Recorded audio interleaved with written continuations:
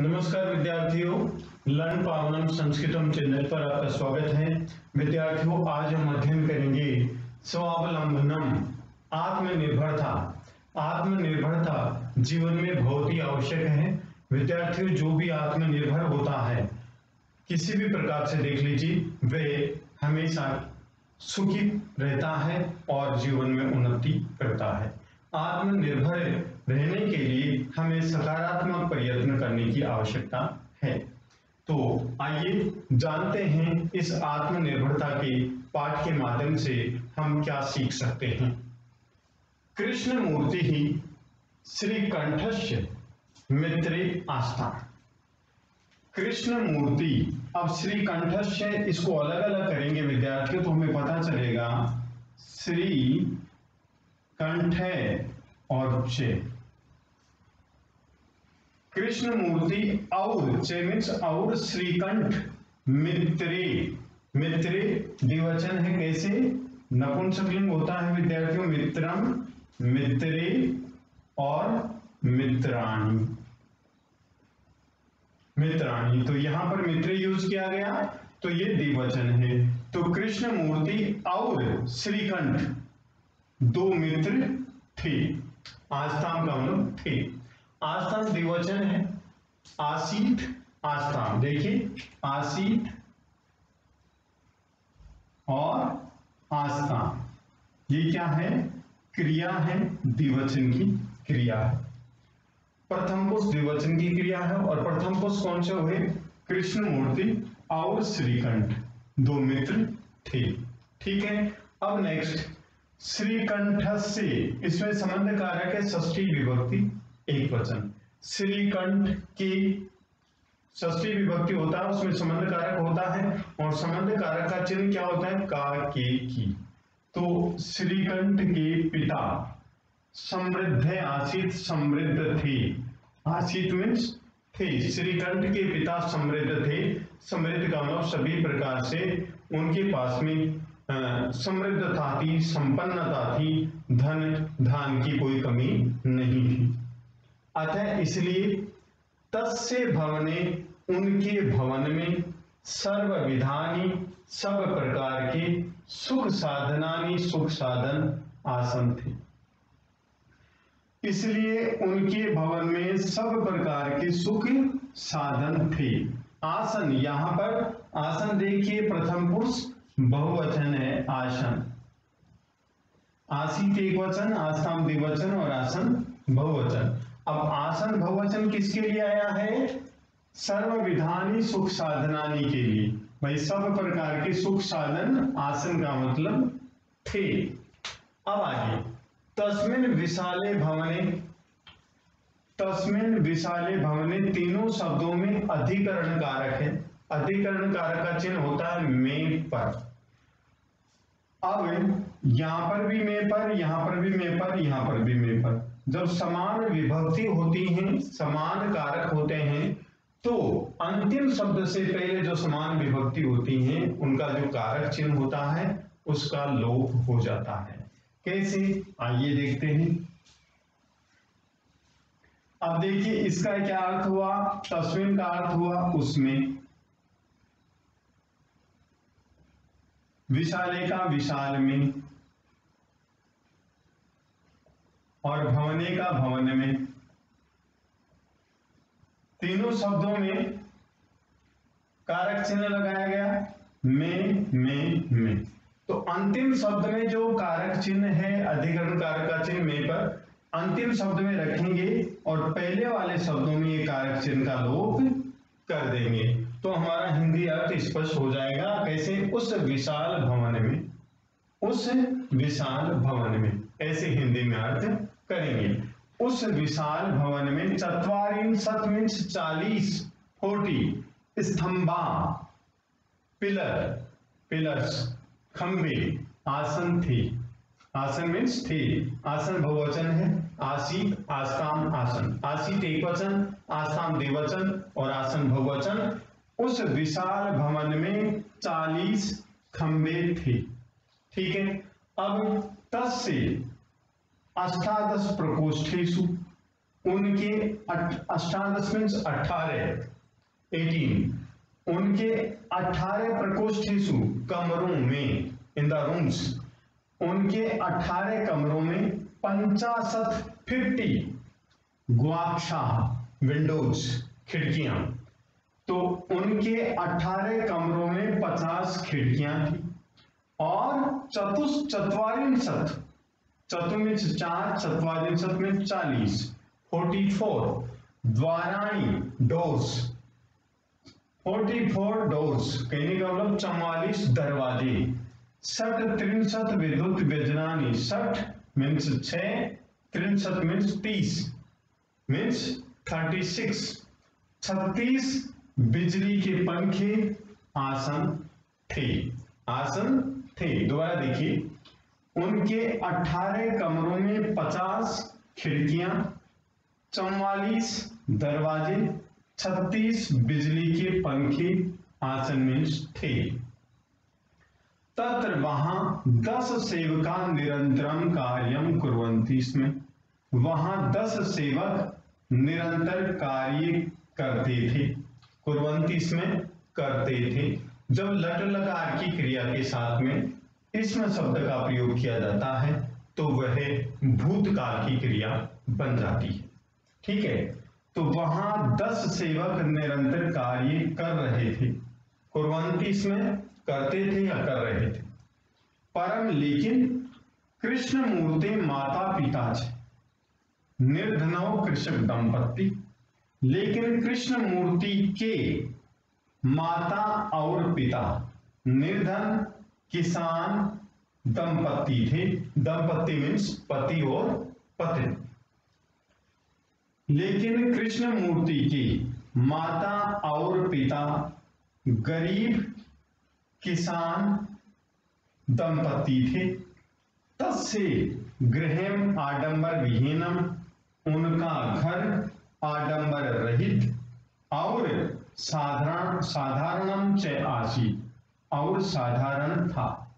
उनका घर आडंबर रहित आडंबर रहित मीन्स दिखावे के बिना बिना दिखावे के, और साधारणम च, साधारण आशिक मीन्स था। ठीक है, अब एक बार इस पैराग्राफ का अनुवाद और देखते हैं। कृष्ण मूर्ति और श्रीकंठ मित्र थी। श्रीकंठ के पिता समृद्ध थे, इसलिए उनके भवन में सब प्रकार के सुख साधन थे। उस विशाल भवन में चालीस खंबे थे। उनके अठारह कमरों में पचास खिड़कियाँ, चौवालीस दरवाजे, छत्तीस बिजली के पंखे थे। वहाँ दस सेवक निरंतर कार्य कर रहे थे, लेकिन कृष्ण मूर्ति के माता और पिता निर्धन किसान दंपत्ति थे।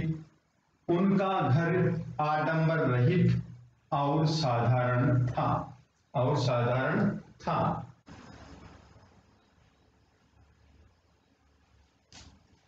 एकदा श्रीकंठ तेन से प्रातः नववादने तस्य गृह अगछत एकदा मीन्स एक बार। श्रीकंठ तेन से उसके साथ उसके साथ छह मीन्स सात। तीन उसके।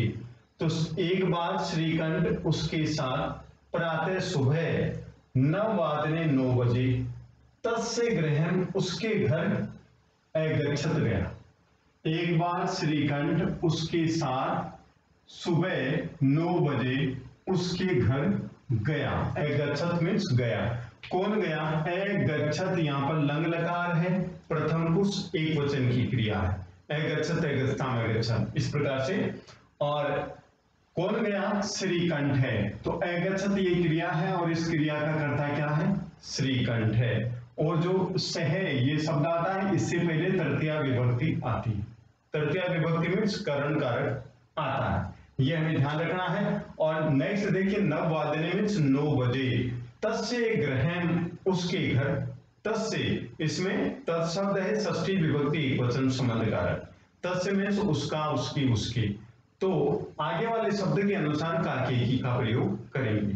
तो देखिए, एक बार श्रीकंठ उसके साथ सुबह नौ बजे, उसके घर, अगछत गए। ठीक?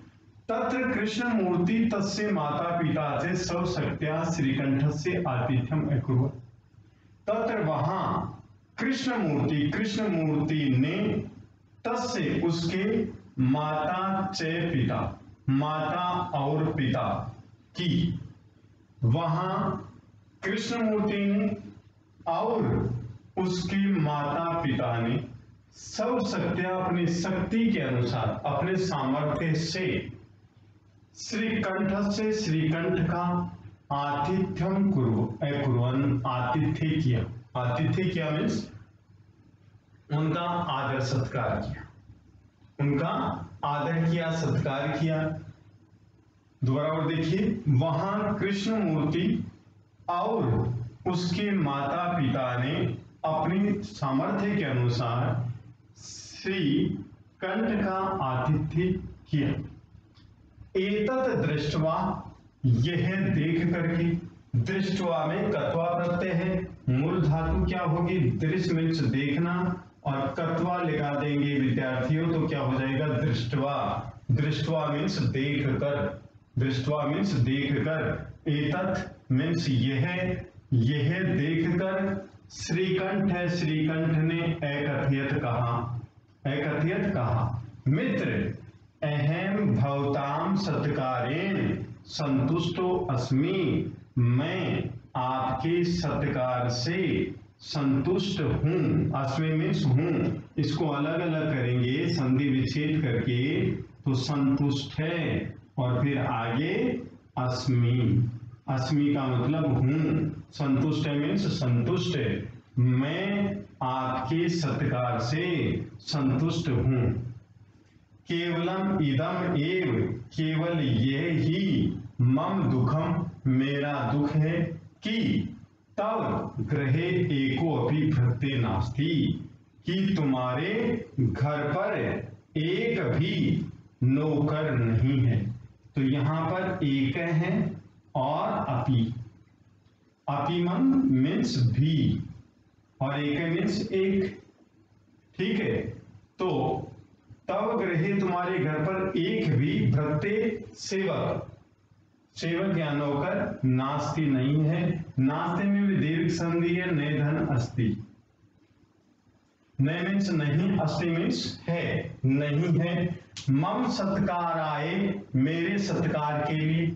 इसमें अधिक संप्रदान कारक है, संप्रदान के लिए। चतुर्थी विभक्ति जैसे राम आए वैसे ही सत्कार आए तो मम मेरे सत्कार आए सत्कार के लिए भवताम बहु कष्टम जातम। आपको बहुत कष्ट हुआ जात मीन्स हुआ। मम ग्रहे तो मेरे घर पर तो बहवे बहुत कर्म करा। काम करने वाले संति हैं। कर्म करा मीन्स कर्मचारी भी बोल सकते हैं। मम मेरे गृह घर पर तू तो वह बहुत कर्म करा, कर्मचारी संति हैं। मेरे घर पर तो बहुत कर्मचारी हैं। तो एक बार इस पैराग्राफ का अनुवाद और देते हैं। एक बार श्रीकंठ उसके साथ सुबह नौ बजे उसके घर गया। वहाँ कृष्ण मूर्ति और उसके माता पिता ने अपने सामर्थ्य के अनुसार श्रीकंठ का आतिथ्य किया। यह देखकर श्रीकंठ ने कहा, मित्र, मैं आपके सत्कार से संतुष्ट हूँ। केवल यही मेरा दुख है कि तुम्हारे घर में एक भी नौकर नहीं है।